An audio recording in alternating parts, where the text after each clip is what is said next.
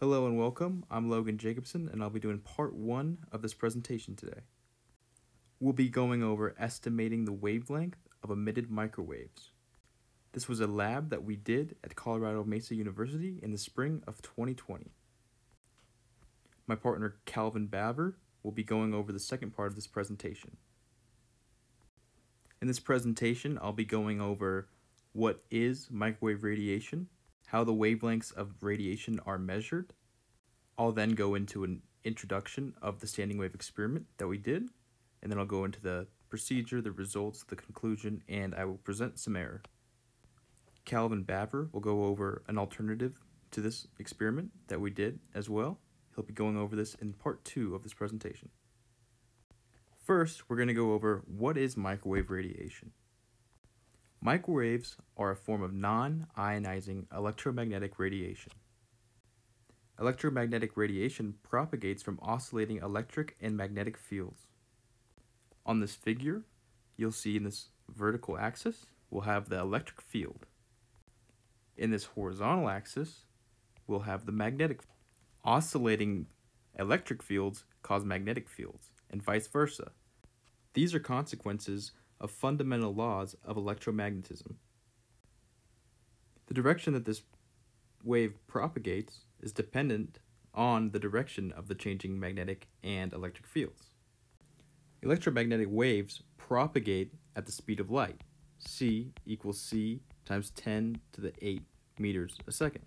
Electromagnetic radiation is often characterized by its wavelength. Its wavelength, as you could see here, is the distance from peak to peak of either an electric field or magnetic field. This wavelength can be related to its frequency by wavelength equals c, the speed of light, over the frequency. Or you could also have the frequency is equal to the speed of light divided by the wavelength. In different circumstances, it is more optimal to either use wavelength or frequency. For the means of this presentation, we're often going to use the wavelength. In this presentation, we're going to be using the wavelength of microwaves, and the wavelength of microwaves is proportional to 10 to the minus 2 meters or centimeters. To give an example of microwave radiation, we're going to talk about microwave ovens in your kitchen. Microwave radiation is used to cook your food. In a microwave oven, microwave hits a water molecule. The polar water molecule tries to align itself with the field of the wave. Due to the oscillatory nature of the microwave, the water molecule will have to keep moving to align itself. This movement is frictionful, and friction creates heat. This figure depicts a water molecule going through a microwave section. A water molecule, H2O, contains one oxygen, O, which is charged 2 minus, and two hydrogens, each charged positive 1. If we look at the structure of the water molecule, we will see that water has a positively charged side and a more negatively charged side. This is what makes the water molecule polar. The poles of this water molecule are what try to align itself with the electric field from the microwave. Now we're going to talk about why does the wavelength matter? An electromagnetic radiation's wavelength defines its function. From the chart here, you can see that radio waves are generally large waves. Microwaves are just smaller than radio waves, and you can get all the way down to gamma rays, which are really tiny. Car stereos are sensitive to very small changes in wavelength of the radio wave that you are tuned into. Very subtle differences in wavelength can mean the difference between classic rock and pop music. Very subtle differences in microwave wavelengths are used in cancer treatments, spacecraft communications, and all sorts of different applications. It's very important to know which wavelength you are dealing with. Now we're going to attempt to measure the wavelength using a standing wave. Standing waves form when low amplitude waves, in which are traveling in both directions, interfere and have fixed phase relationships. Here, we have a standing wave represented with a string between two fixed barriers. We can imagine one wave traveling this way and the other wave traveling this way. The distance they travel can be called r. Each one of these waves, we can label them like this, travels one wavelength within this configuration. Within this standing wave frame, we've traveled a distance r, and we know that the strings each traveled one wavelength. So this distance r is equal to 2 times the wavelength. We can call each section of the standing wave one wavelength here. If we were to add a third wavelength, then this distance r would just equal 3 wavelengths. This means that r is equal to an integer number n times wavelength. If we were to track the nodes of only one of the strings, so each, say this is the string here, and we wanted to track this right here, we would say that this distance r is equal to n over 2 wavelength because it's halfway between one of the wavelengths for one of the strings. This relation will later on be used to help determine the wavelength of an incident microwave. To measure a wavelength using a standing wave, you first have to make a standing wave. We're going to need a source of the microwave. We'll call this the source, S. It'll be plugged in. It'll give us our microwaves. We also need something to receive the microwaves. We'll call this the receiver. And on this receiver, we'll have a detector that'll tell us the magnitude of the microwave that's incoming.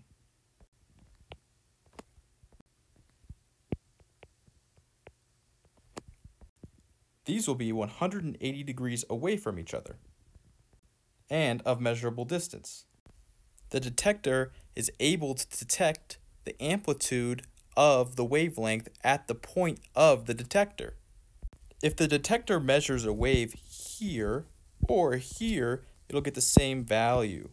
This is because the amplitude of the wave squared is proportional to the intensity of the wave at that point.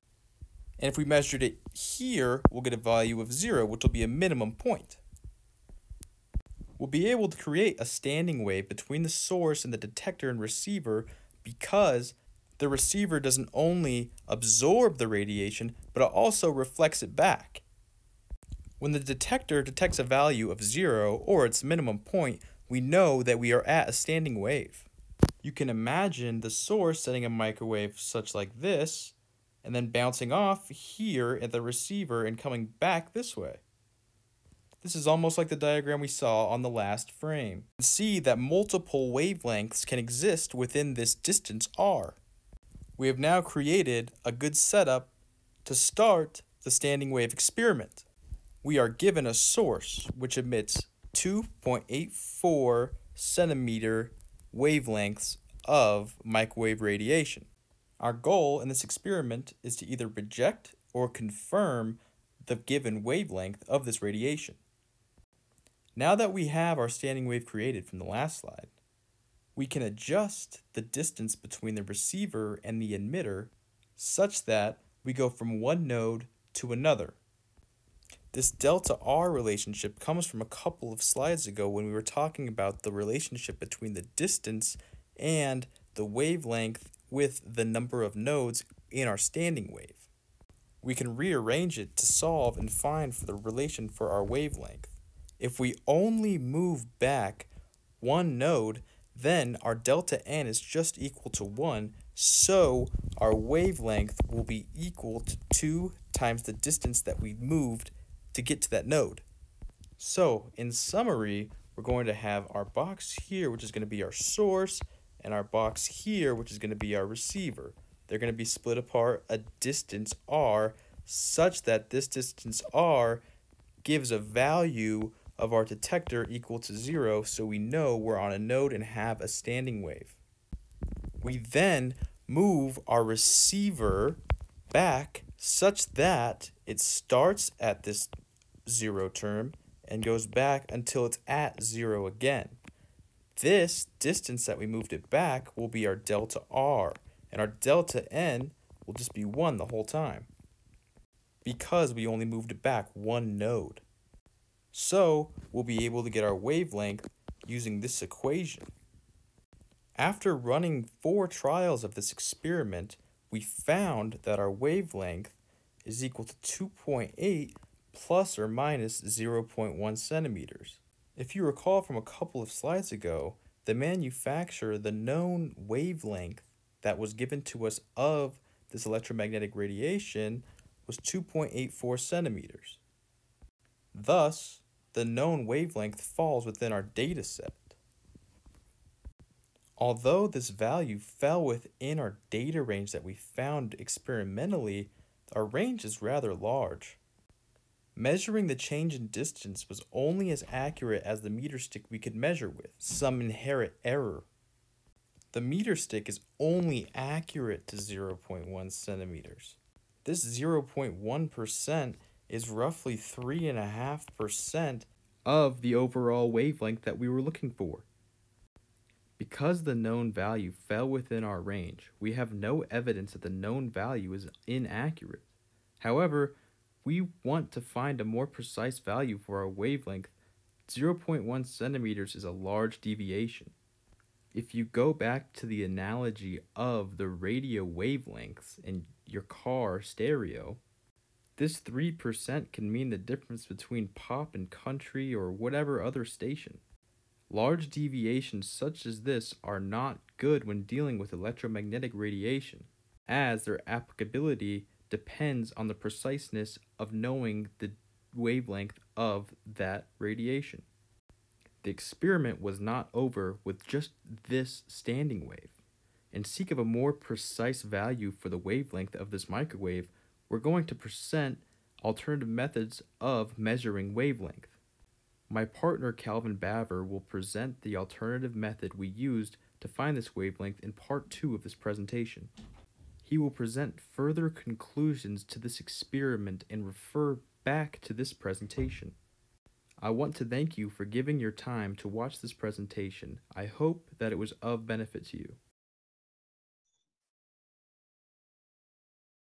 So Logan kind of went over basically the basics of the standing wave and a bunch of different other parts of the part of the experiment. So now what I'm going to kind of go over, I'm going to do a little review of the standing waves theory, and then I'm actually going to introduce the Lloyd's mirror theory and as well as our experiment, our conclusion, and all that other stuff.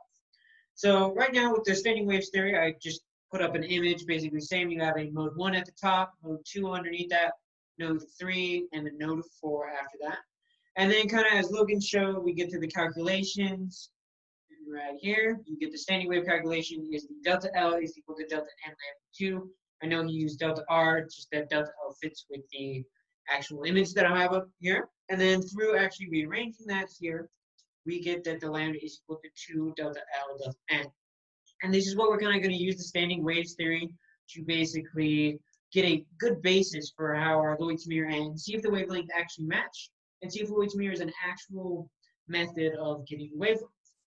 So now with the Lloyd's mirror experiment, it's going to be set up kind of like the image above, where you have A is going to be the transmitter, C is going to be the receiver, and B is going to be the reflector. S is going to be the path length, and then 2x is going to be the length from A to C. And what we know about constructive interference is that when you get two waves that match in phase, they actually create a sort of maximum. So at the C, you're going to see a maximum if they're in phase in order to get them in phase, the distance from A to C has to be added by a multiple of the actual wavelength of the microwave. So from that idea of constructive interference, we can draw up the formula where the path length is equal to the multiple uh, of that wavelength plus the 2x. And this basically shows when constructive interference happens. And m is just going to be a mode from 0, 1, 2, 3. So say, for instance, I had a mode of 0, Obviously, that means that your path length is going to be exactly the same as that 2x, and that B, the reflector, is actually going to be right on that A to C line. And here we can kind of see when the path length will give us a constructive interference. And uh, looking at this, we were kind of trying to see how we could use this in our experiment to find wavelength of Lloyd's mirror. And while looking at the formula, we noticed that it fits a line of regression formula. So that is going to be the y is equal to ax plus b, where a is the slope, b is the y-intercept and you can see that the s is going to be a y value. Our lambda is going to be the slope, that a value of this line. Our mode is actually going to be the x value. And then the 2x, the distance between a and c, is going to be our y-intercept. And we're going to use this in our experimental, as I'll talk later, to kind of find out the wavelength of using Lloyd's mirror. Some uh, useful equations added onto that is um, when measuring this, it was kind of hard to do the path length. It would actually do an increased uncertainty value by the factor of two if we use the path length. So we actually use y. So a kind of useful calculation is that path length is equal to the square root of x squared plus y squared, where in the experiment x is going to stay the same, but we're changing y. So we can get that conversion. Another thing I added in here was solving for the uncertainty, where the uncertainty of lambda is equal to 2 times the square root of the uncertainty y squared plus the uncertainty of x squared. Since we're kind of using the same measurement tools for the x and y value, those uncertainties will actually be exactly the same. And so now into the actual experimental procedure. Right here is when we did the standing wave, and as you can see, as Logan talked about, the transmitter and receiver are 180 degrees apart from each other. And what we're going to kind of do is we want it to start out of mode. So you're going to start a few distance apart the, between the transmitter and the receiver. And once you reach a maximum, that's going to be your first node that you're looking at. And then you're going to move that receiver back a little bit to the next maximum. And since we went from one maximum to the next, it's actually going to be delta n, the change in mode of 1, which means that denominator basically goes to 1, which is actually very useful. So now all we need to do is measure the change in L, how much we change the distance from the receiver from that first node to the second node, and that will give us the wavelength, which will actually be very useful. And then now onto the experiment of the Lloyd's mirror experiment. It is a little bit more complicated. As you can see, it still has the receiver and the transmitter on that 180 degrees parallel line. But now we also have a reflector, which is going to basically uh, be on the perpendicular of that parallel line. However, the plate, the reflector, is going to be facing the parallel part of it. And so first you want to start at a mode is equal to zero because here we can't, like the standing wave, start at any mode. We need to know what the mode is because that's going to be our x value. So you start at a mode of zero, which is when that path length is equal to x. And so at that point, your y is going to be equal to zero. And then you move it a little bit back until you reach the next maximum on the receiver, and that is going to be your first mode. And then you record the y. And as you can see through here, that's kind of what we do. You start at that V1 reflector, which is first going to start at m is equal to zero. And you're going to move it to that V2, which is when that next maximum happens, when the next constructive interference occurs. And then you're just going to record this in the data table that I have right here. And that's where the x is going to stay constant here because we're not really changing that. M is going to be your mode, which so we started with a mode of zero, then one, two, three, four. Kind of go as far as you can. We really got up to five in our experiment. And then your y, which is going to be that distance from the center, a parallel line to the actual reflector. And then S is that path length. And obviously, we're not measuring path length here, so we use that x column and that y column to actually calculate the s. And then what you want to do is you want to plot the m versus s, where m is on the horizontal uh, axis and s is going to be on that vertical axis. Use a line of best fit. We use Excel for this and find out the slope. Now into our actual experiment here. While doing this uh, through the standing wave method, we actually got a lambda of 2.8 centimeters, which is actually extremely well uh, because we looked at the pamphlet that uh, our microwave transmitter and receiver came in, and they actually got a lambda of 2.84 when doing it. So we knew that our equipment was working right, and that we have now a good basis for what lambda is. So now to the Lloyd's mirror data. So this is us through several uh, modes here.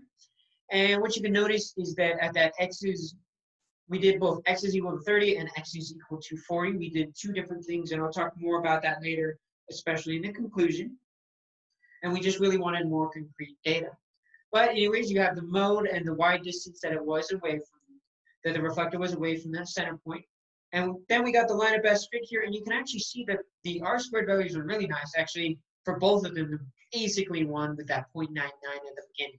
So we know that this is a good fit for the data. So then looking at the slopes here and using the uncertainty of lambda as I showed previously, with an uncertainty in y of 0.1 and an uncertainty in x of 0.1, we got that for the 30 centimeters, our lambda was equal to 2.51 plus or minus 0.28 centimeters, which doesn't include the 2.8 actually in that uncertainty level, but it is very, very close to the upper bound.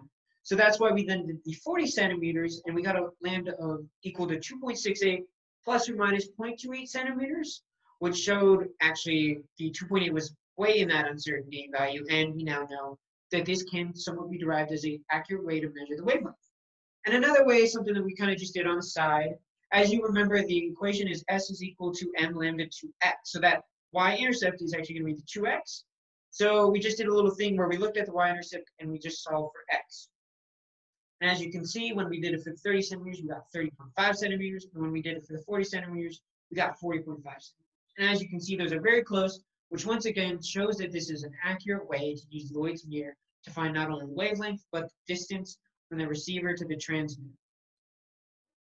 Kind of an overall conclusion here is we did, were able to use the Lloyd's mirror effect to accurately describe the wavelength. Our best data point was the 2.68 plus or minus the 0.28 centimeters while using a microwave with a wavelength of 2.8 centimeters, which actually shows that we were accurately able to do it and the data. Some of the things that we might improve through this thing is the lab setup. Think about microwave, and I think Logan touched a little bit on this, and that's why the double slit doesn't work, is that the microwaves are have a pretty large wavelength, so they reflect off a lot of things. So in our lab, the desks were kind of cluttered. So if we were to change this, we'd probably make a less cluttered desk, basically nothing around it, so that the microwave really only reflects off of that plate that we are using, which would actually help us to enhance our data. Another thing was our equipment, the transmitter and detector were a little bit finicky. Every now and then the detector would shoot up and shoot back down. So it actually took us a while to actually get the data points and make sure that they were correct. And then the actual measuring devices, the rulers, they were all finicky. They didn't align at the center point. And shifting back that reflector back and forth was actually a little bit of a hassle. And that's where some of our uncertainty really came from. So I feel like if we improved on those two things, we get a way smaller uncertainty and actually very close to that 2.8 centimeters. So now, of course, you can find the wavelength using the standing. We didn't show Lloyd's mirror basically to say that this is a new way to find the wavelength. But we use it because standing waves kind of useful, but Lloyd's mirror effect actually shows a lot of use in uh, the practicality, the real world. So I looked at this uh, article, which is Lloyd's mirror's effect in fin whale calls and in use to infer depth of vocalizing animals. And this, I just pulled a photo from uh, the research paper, and it basically talks, they use the Lloyd's mirror effect to find at what certain depths some marine animals that use acoustic, acoustic calling are found at, and at what certain depths they do a certain call. And that was, they went through a lot of derivations, a lot of things, used Lloyd's mirror effect, and they came out to not only a correct answer of what depth they actually called, because they checked it with the observational and their calcul calculated answer, and they actually matched up very well. But they also were able to describe how whales, to this Lloyd's mirror effect, are actually ran over a lot by uh, other ships because it you just don't see them on the radar because of the bouncing off of the ocean and with the radar and all that. So it was useful not only finding depths, but also kind of getting wonder how we don't see whales on the radar and we actually sometimes end up running over them. And then here's going to be my bibliography on all that. And thank you guys so much for listening. That was uh, me and Logan's experiment on the Lloyd's mirror effect with microwave radiation.